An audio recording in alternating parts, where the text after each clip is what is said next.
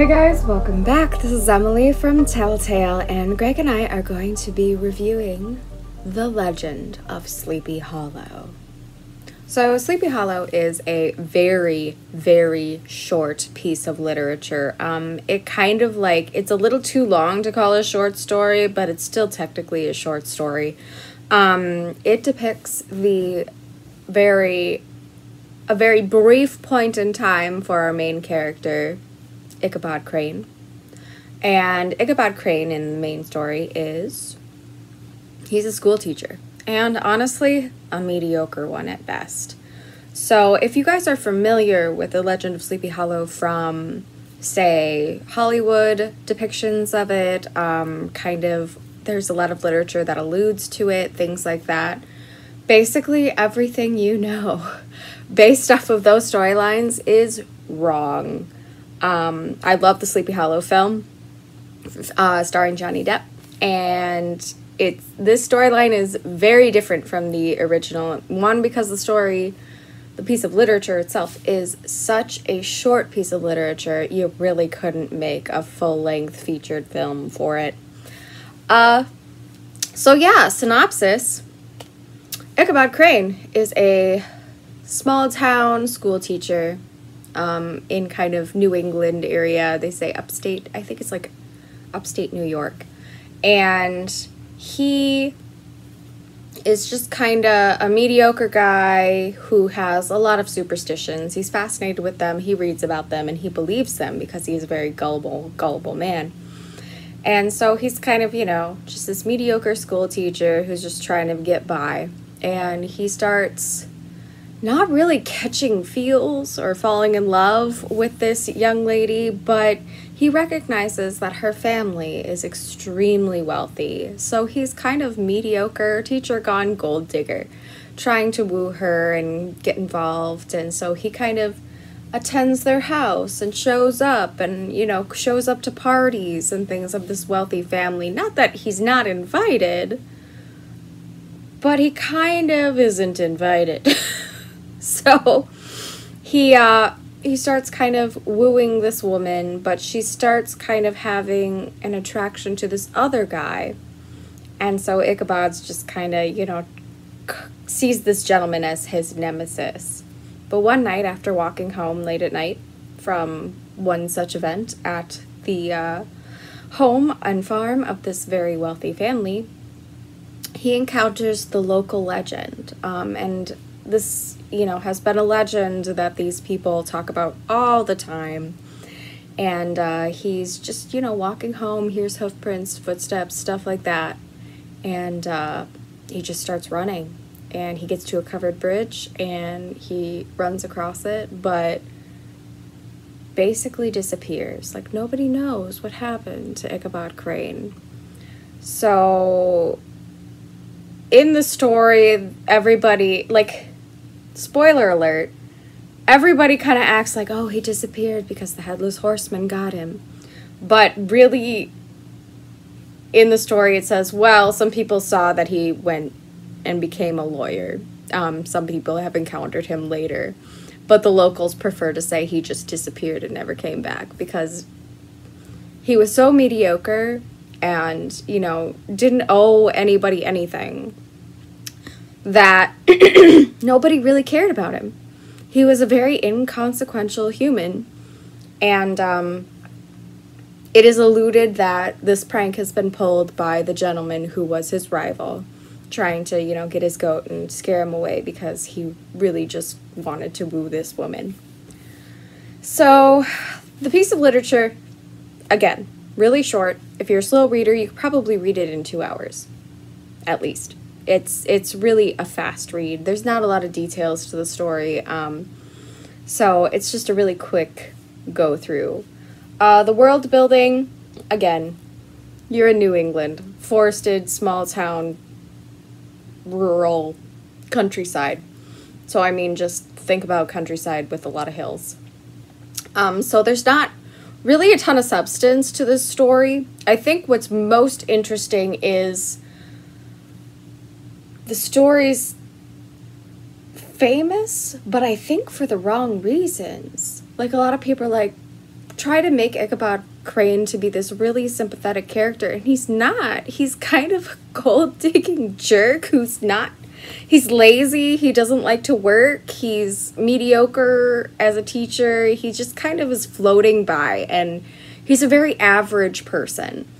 Um, so I think the interesting part of this story is not so much that the story exists, but the ways that pop culture has blown this story up so that this character seems to have a lot more significance than he actually does. Like, he's not a very sympathetic character. Um, I had to say, I was actually, I had only read this a few months ago for the first time. Like, I shouldn't say a few months ago. Like, over, over the winter, I had read it. And, um, it was I was not expecting it to be as short as it was. It was a very, very short book. And when you see all of these pieces of, you know, pop culture that surround this story, it's really not that big of a story. Like, it's more interesting and intriguing, I think, to see how popular culture has taken artistic license and blown it up uh, instead of the story as it was. Um, and I have to say, you know, it just it's interesting because while the story is so such a big deal to pop culture, it's not it doesn't seem like it should be a very significant story. Um, I what I do appreciate is uh, the perpetuation of urban legends. Of course, we as a country don't have a lot of myths um, because we are such a young country. So it's kind of fun to have this be like a modern myth or urban legend, not even urban legend, it's like a rural legend um, of something that may or may not be real. It's kind of like a Bigfoot or Mothman sort of situation where you have this unusual phantom, not sure what it is kind of storyline. And um, one of the things I think it does too is it kind of shows how manias can happen. Like we talk about the Salem witch trials was witch mania. This is kind of like a phantom mania, and this kind of starts starts the uh, concept of I think American legends and myths. So I really do appreciate it for that significance. I think it's interesting how um, pop culture has taken it a step further, or even multiple steps further, and just basically rewrote this whole story um, I understand why though. So honestly, I didn't, I was a little disappointed because I do have all these preconceived notions of pop culture. And I think that's another thing that's really important to discuss is that we have a culture now that kind of just takes these classics and really does rebuild them a lot. So I think it's important to kind of talk about how an original piece of literature actually is and how we perceive it because of what Hollywood or whatever has done to it and how that morphs our expectations um, of a piece of literature because visual media is visual media. So it uh, it's kind of fascinating because I had expected more simply because of all these you know different artists who had taken artistic license, only to find that the story really wasn't that really big of a deal. I guess the main moral of the story would have to be like superstition is everywhere. And there are, I think, another thing it kind of talks about is, I guess, how impressionable small minds are. Not to say that you're you have a small mind if you're a farmer, but these small town, you know, folks have those smaller minds that just worry about the locale. They don't know what's going on in the world. They don't know a lot of other things. So I think that is an interesting topic of discussion as well in this particular piece of literature is the power of ignorance. Like a lot of these people just kind of the ignorance is what perpetuates the story, you know, where they believe Ichabod Crane disappeared, but he just got scared out of town and decided to go become a lawyer. Um, so it's it's really an interesting piece of literature to analyze, despite how small it is, and especially in the context of how pop culture has perpetuated it. So, I mean, that's more interesting than the story itself. Again, I was kind of disappointed with how short it was and with how, I guess, lacking. Like, it just was a lot less, it was very lackluster compared to what pop culture has uh, led us to believe. This is another case where Emily and I are going to part company a little bit because I liked Legend of Sleepy Hollow. I thought it was good. The difficulty in getting into a story like this is is that it was written a very long time ago at a time when all the things that we're used to with fiction and literature really didn't exist yet. Novels were just coming into their own. Uh, Cervantes wrote the first novel with Don Quixote. Um, you had some of the very first novelists outside the United States were people like Sir Walter Scott.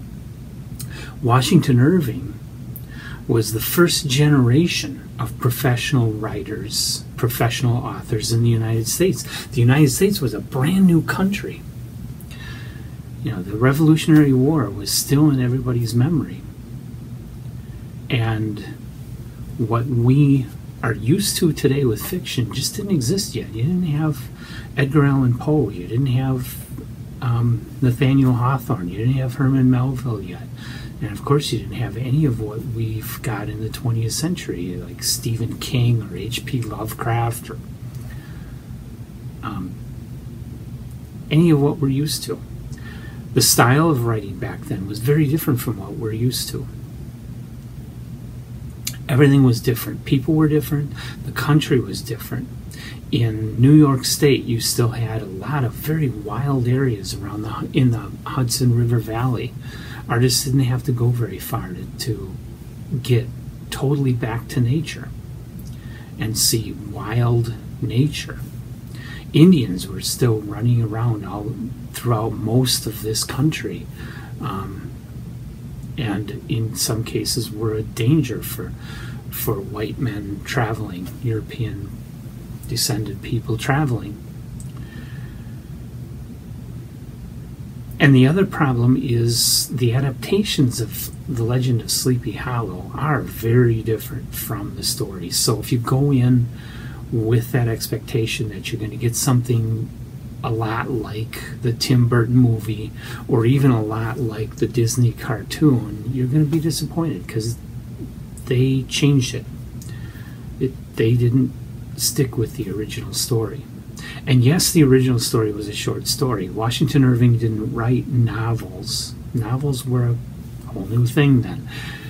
He wrote short stories and published them in in um, periodicals, which were another fairly new thing at that time. And he collected a bunch of his short stories and essays, what he called sketches, into the sketchbook and published it.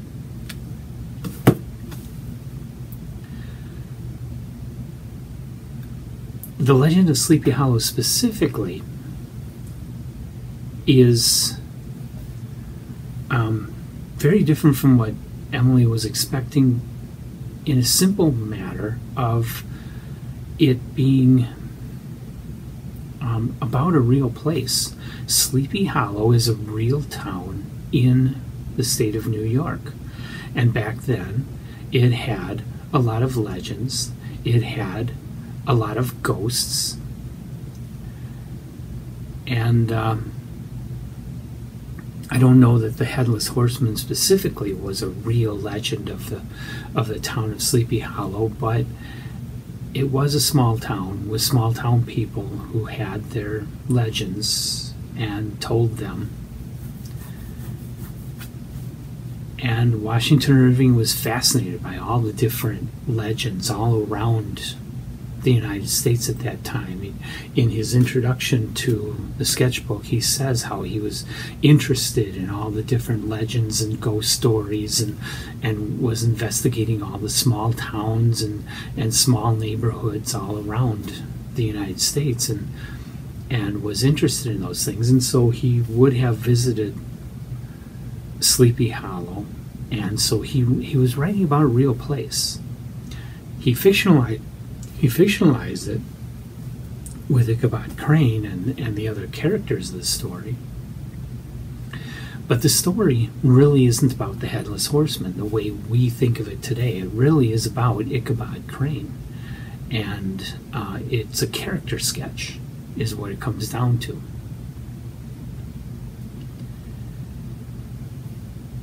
So